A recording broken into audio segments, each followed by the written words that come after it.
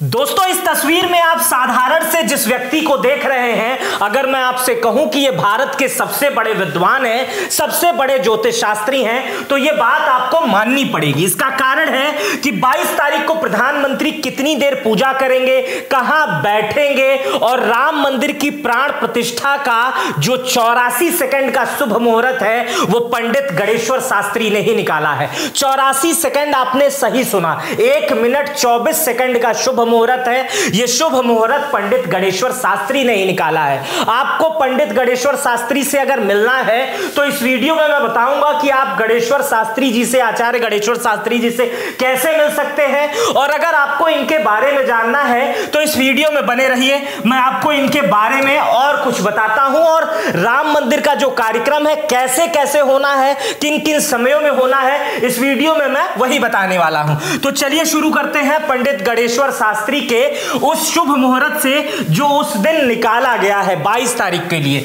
22 जनवरी का समय है, दोपहर बारह बज के उनतीस मिनट आठ सेकंड से लेकर बारह बज के तीस मिनट बत्तीस सेकंड। यानी चौरासी सेकंड का यह शुभ मुहूर्त है। इसी में प्राण प्रतिष्ठा जो भगवान राम की मंदिर की की जा रही है, यही चौरासी सेकंड वो मुख्य समय होगा, जिस समय प्रधानमंत्री मुख्यमंत्रियों के साथ प्राण प्रतिष्ठा का कार्यक्रम करेंगे। बाकी और समय प्रधानमंत्री रहेंगे, लेकिन यही चौरासी समय का सेकंड का वो मुख्य समय रहेगा। आप इस बात को समझिए। अब मैं बता रहा हूँ कि पंडित गणेश्वर शास्त्री इससे पहले 13 दिसंबर की तारीख को काशी कॉरिडोर का भी लोकार्पण का शुभ मुहूर्त निकाला था और उसके बाद इस पर विवाद भी हो गया था। भारत के तमाम ज्योतिष शास्त्री और भारत के तमाम विद्वान इस विषय पर चर्चा में लग गए थे और कई लोगों ने तेरह तारीख को एक गलत तारीख बताया था। लेकिन तब पंडित गणेश्वर शास्त्री ने भारत के सभी विद्वानों को अपनी बातें बताकर सभी को संतुष्ट कर दिया गया था। तब इनकी और ज़्यादा प्रसिद्धि बढ़ गई। तब भी ये सुर्खियों में आए थे।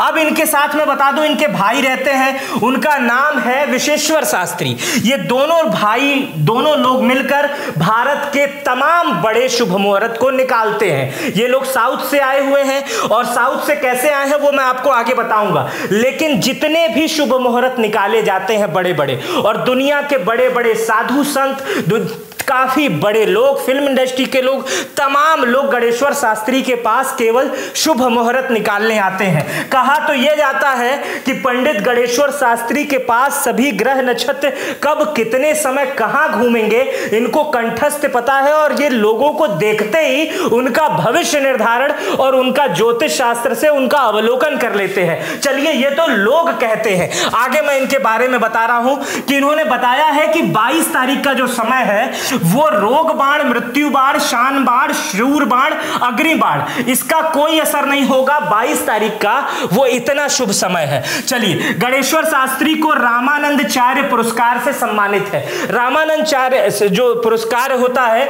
वो ज्योतिष शास्त्र के क्षेत्र में सबसे बड़ा पुरस्कार माना जाता है। गणेश्वर शास्त्री, मैंने शुरुआत में बताया कि दक्षिण भारत से काशी आए थे।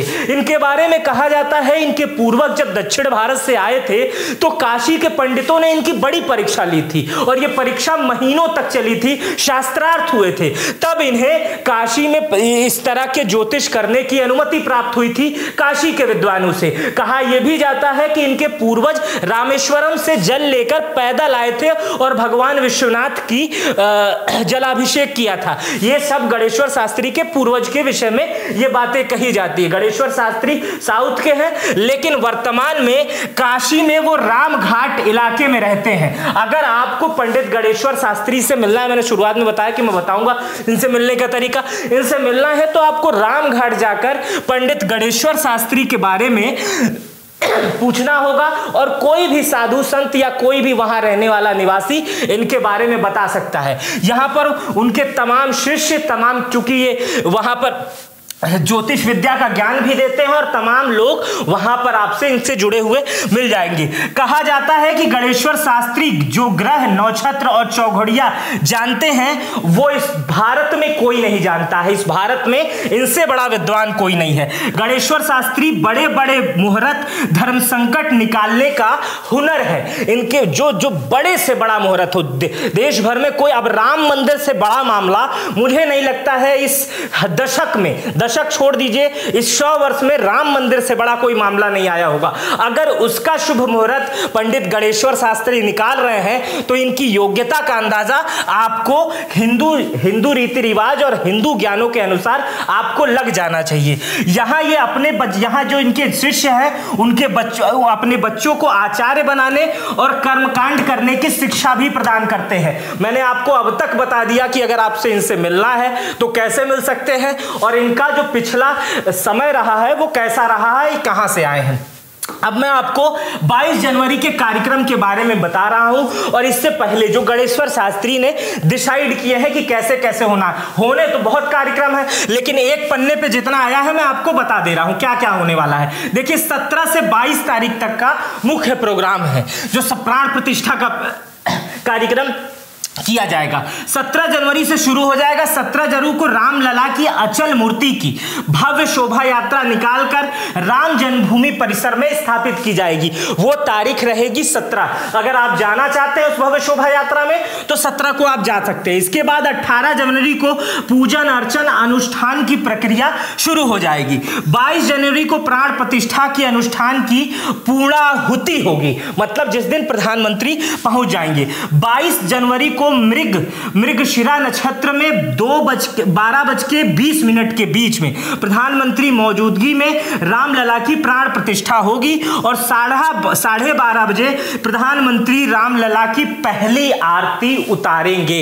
ये कार्यक्रम निर्धारित है और बताया ये जा रहा है कि 12 तारीख को कम से कम अयोध्या में 20 लाख लोगों के आसपास होने की संभावना है। अभी से अयोध्या जगमग हो चुकी है। चौराहे चौराहे चौराहे फूल से सज चुके हैं। ऐसा लग रहा है कि दिवाली 22 तारीख को है।